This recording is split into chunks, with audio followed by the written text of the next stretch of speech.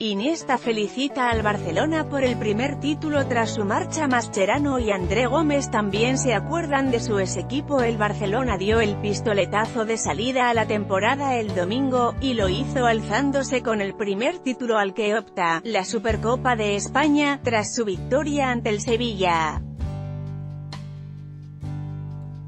Los jugadores celebraron el título sobre el terreno de juego, y este lunes han colgado varias imágenes del momento en las redes sociales, pero otros futbolistas que ya no están con el Barça también han querido conmemorarlo.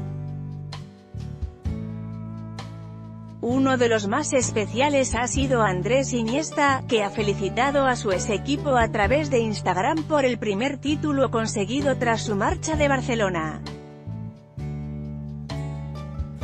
Muchísimas felicidades que sea el primero de muchos esta temporada, abrazo desde Japón arroba FC Barcelona, ha escrito el centrocampista. Otro ex blaugrana, Javier Mascherano, también ha felicitado a sus antiguos compañeros. El argentino ha compartido una publicación del club en Twitter en el que celebraban la Supercopa y ha añadido, felicidades, junto a varios emojis de aplausos.